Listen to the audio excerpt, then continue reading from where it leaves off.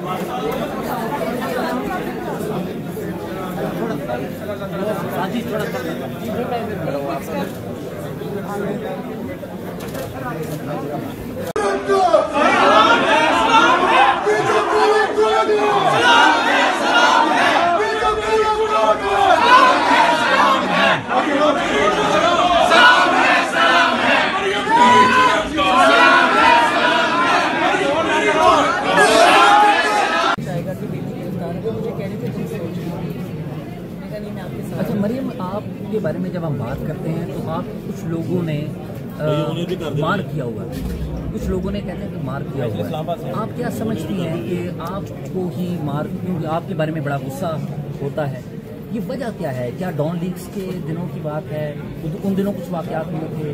یا اس کے بعد کچھ ایسا ہوا کہ آپ کیوں اچھی نہیں لگتی لوگوں کو؟ میں جھوٹے پالش نہیں کرتی۔ اور میں اس کو برا سمجھتی ہوں۔ میں یہ سمجھتی ہوں کہ جو عوام کے ریپرزینٹیوز ہوتے ہیں ان کی عزت کی جانی چاہیے حکومت چلانا جو ہے وہ اس طرح کی عوام کے ریپرزینٹیوز کا کام ہے آئینی اور قانونی دائرے سے جو بھی باہر نکلے گا میں اس کے خلاف آواز اٹھوں گی اور یہ لوگوں کو پسند اور مجھے یہ بتائیے کہ جو کچھ بھی کشمیر کے حوالے سے ہوا اس کے نہ ہو جو اس فیاصلوں کا ذمہ دار ہے، میں اس کو این آر او کیسے دے دوں کم از کم مسلم لیگ نون اس کو این آر او اور آپ ایسے شخص کے ساتھ بیٹھنے کی بات کر رہے ہیں جو خود مجرم ہے، جس کا جس جس کی وجہ سے یہ جرم سے ہے۔